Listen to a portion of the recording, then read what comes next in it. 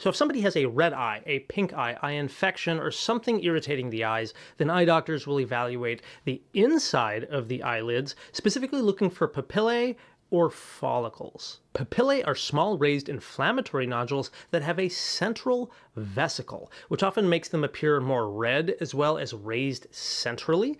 This is often seen in bacterial infections, allergies, and sometimes you can even find giant papillary reactions, usually on the upper eyelid in the presence of a long-term foreign body, such as contact lens issues, as well as maybe a suture or something left on the eye. Follicles, on the other hand, are more of a bulbous inflammatory nodule with kind of a yellow or white appearance at its apex, and sometimes blood vessels seen around its edges. We usually see follicles in cases of viral infections, but there are some cases such as adult inclusion conjunctivitis, which is a bacterial infection that can also cause this appearance. In some cases of eye infections, it can be difficult to discern between the two, so it's important for eye doctors to also include other symptoms and signs to kind of solidify their diagnosis. So if your eyes are ever red or don't feel very good, if you pull down that lower eyelid, you may see some inflammation there. Either way, always best to ask your eye doctor what they think is going on and what would be best for you.